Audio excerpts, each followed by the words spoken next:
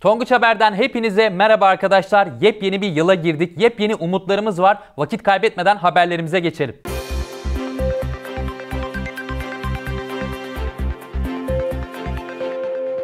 Okullarımız açık olsaydı pazartesi günlerine İstiklal Marşı ile başlayıp yine cuma günlerini İstiklal Marşı ile bitirecektik. Buna duyduğumuz özlemden dolayı geçtiğimiz pazartesi günü tüm Türkiye'de İstiklal Marşı okundu.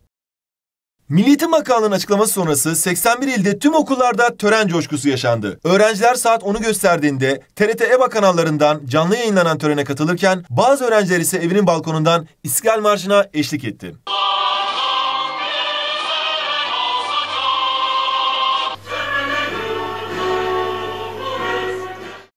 Alınan tedbirler doğrultusunda vaka sayılarında bir düşüş yaşanıyor. Tabi aşılanma da başladı. Bu nedenle öğrencilerin ilk gündemi okullar açılacak mı? Eğitimde ilk dönemin sonuna yaklaşılırken aşılanma çalışmalarına başlayacak olması okullar açılacak mı sorusunu gündeme getirdi. Milli Eğitim Bakanı Ziya Selçuk'un Twitter hesabından öğrencilere duyduğu özlemi dile getirerek yaptığı spor salonu paylaşımı öğrencilere yüz yüze eğitimin yeniden başlayabileceği sinyalini verdi. Kararın Milli Eğitim Bakanlığı ile Bilim Kurulu'nun sömestr tatilinde yapacağı görüşmeler sonrası açıklığa kavuşması bekleniyor. Tonguç Haber Bülteni'nde bu haftanın konu rehberlik hocamız Gizem Hoca. Hocam hoş geldiniz. Merhabalar, hoş bulduk. En büyük gündemimiz okullar açılır mı, açılmaz mı? Yine sosyal medya bununla çalkalanıyor. Bu tarz hmm. haberler çok dönüyor. Sizce okullar açılır mı ya da açılırsa ne zaman açılır?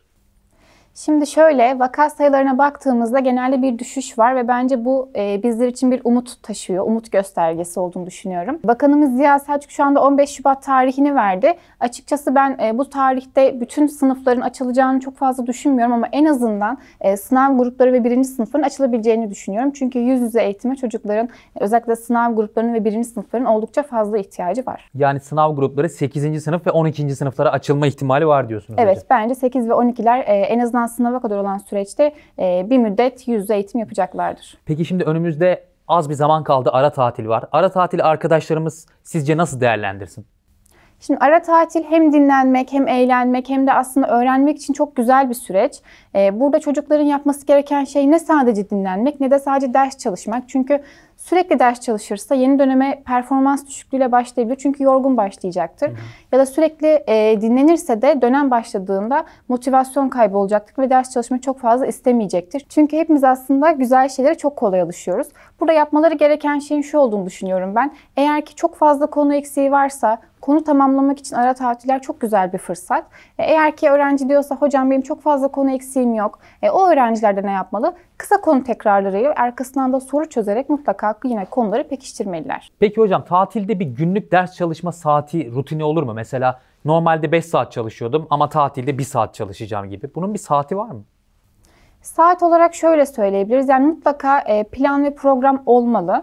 Ama bu plan ve programda ben saatten ziyade özellikle dersteki başarı durumuna göre plan yapılması hı hı. gerektiğini düşünüyorum. İşte örnek veriyorum matematik dersinde başarısızsa o zaman biraz daha fazla çalışmalı. Yani ona o gün 2 saat değil de 3 saat çalışmalı. Hı. Ama diyelim ki sosyal bilgiler ve fen bilgisi çalışacak ve bu iki derste de oldukça başarılı. O zaman 2 saat çalışmak belki 1 saat çalışmak bile yeri geldiğinde yeterli olacaktır. Tabii bazı arkadaşlarımızın az eksiği var. Bazı arkadaşlarımızın ise birçok dersten eksiği olabiliyor. Belki bu dönemde çok daha fazla çalışabilirler diye düşünüyorum hocam. Siz ne diyorsunuz? Evet tabii ki burada tamamen e, arkadaşlarımızın ders çalışmayı ne kadar sevdiklerine ya da ne kadar eksik olduklarına göre değişebilecek bir şey bu. Özellikle çok fazla eksikleri varsa e, gününün e, büyük bir kısmını demeyeyim ama şöyle bir 3-4 saatini en az ders çalışarak geçirmeli, tekrar yaparak, soru çözerek öğrendikleri şeyleri pekiştirmeleri gerekiyor. Şimdi bu yıl LGS'ye girecek arkadaşlar için de çok önemli bir sene gerçekten. Onlar ara tatili sizin bahsettiğiniz gibi mi değerlendirsinler yoksa farklı bir metot uygulasınlar mı? Hı hı. Yani benim onlara tavsiyem aslında mutlaka birazcık dinlenerek işe başlamaları. 3 hafta uzun bir süre. Dinlenmekten kastım bir hafta ya da iki hafta gibi bir süre değil. Ama en azından iki gün veya üç gün mutlaka hiçbir şey yapmadan sadece sevdikleri şeyleri yaparak e, vakit geçirmeye ihtiyaçları var. Çünkü dinlenmedikleri takdirde gerçekten yeni döneme çok daha yorgun başlayacaklar ve motivasyon düşüklüğüyle başlayacaklar. Bu bizim istediğimiz bir şey değil. İki gün, üç gün biraz kafanızı dinleyin. Daha sonrasında ise mutlaka yine haftalık programlarını yaparak çalışmalarına devam etmelerinde fayda olduğunu düşünüyorum. Zaten hocam özellikle LGS'ye giren önceki senelerdeki arkadaşlar hep şunu söylüyorlar İlk başlarda çok iyi başladık, çok hızlı başladık fakat ikinci döneme doğru bir bıkkınlık geldi. Çalışma isteğimiz gitti. Bu nedenle arkadaşlarımızın bu tatil dönemini birazcık dinlenerek geçirip ondan sonra yola koyulmaları daha güzel olacaktır gibi Evet hocam. ben de öyle kesinlikle öyle düşünüyorum. Çok teşekkür ediyorum hocam. Ben katıldığınız teşekkür için. ederim. Zaten videolarımıza devam ediyoruz. Arkadaşlarımıza destek olmaya devam ediyoruz. Önümüzdeki dönemde de yepyeni videolarla devam edeceğiz inşallah. Evet inşallah. Tonguç Haber Bülteni'nin bu bölümünde rehberlik hocamızı ağırladık ve ona güzel sorular sorduk. Şimdi tüm hızımızla devam ediyoruz. Milli Eğitim Bakanlığı mevzuatında uzaktan eğitimle alakalı çok önemli bir değişiklik yapıldı. Eğer uzaktan eğitim devam ederse notlandırma sistemiyle alakalı yaşanacak o önemli gelişme neymiş bakalım. İlk dönemin sona erecek olmasıyla öğrencilerin karne merakı artarken Milli Eğitim Bakanlığı tarafından yönetmelikte önemli bir değişiklik yapıldı. Mevzuatta yer alan uzaktan eğitimde puanlama yapılamaz cümlesi kaldırılarak online eğitimde puanlama yapılması ve karne verilmesinin önündeki engel kalkmış oldu. Karnelerin elektronik ortamda mı yoksa basılı olarak mı verileceğine dair açıklamanın önümüzdeki günlerde gelmesi bekleniyor. Sizce uzaktan eğitimde karnelendirme sistemi olması iyi mi olur yoksa kötü mü? Bu konudaki düşüncelerinizi yoruma yazabilirsiniz. Diyarbakır'da bir matematik öğretmeni sayı doğrusu üzerinde boşluklar olduğunu iddia etti ve bu konuda önemli çalışmaları var.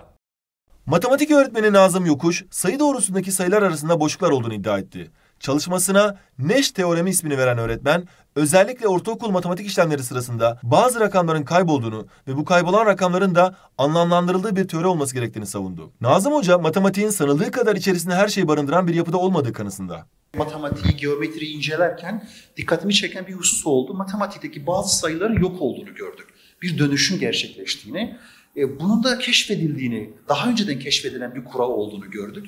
Bunu paylaşmak istedim. Yani matematik zannedildiği kadar e, içinde her şeyi barındıran bir durum olmadığını, tekrardan belki incelenmesi gereken bir bilim dalı olduğunu ben açıkçası böyle iddia ediyorum.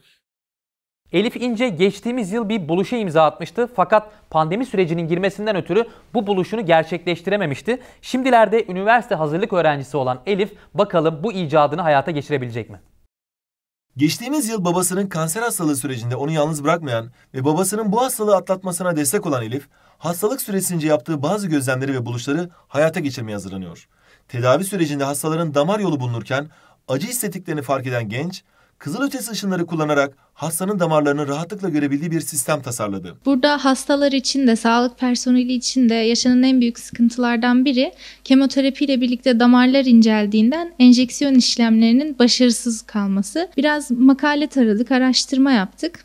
Kızılötesi ışığın damarlarımızdaki hemoglobin tarafından soğurulduğunu fark ettik. Yani bu ne anlama geliyor? Biz damar bulmak istediğimiz bölgeyi kızılötesi ışıkla aydınlatırsak damarların olduğu bölgelerde ışık soğurulduğundan damarlar daha koyu renkte gözükecek. Bu yıl hocalarının da desteğini alan Elif, bu projesini hastaların giyebildiği bir kıyafet haline getirmek için harekete geçti. Tonguç Haber'de bu bölümün de sonuna geldik. Artık önümüzde bir ara tatili var. Bu dönemi çok iyi geçirip ikinci döneme bomba gibi başlayacağınıza inanıyorum. Bir sonraki haber bültenine kadar kendinize çok iyi bakın. Hoşçakalın.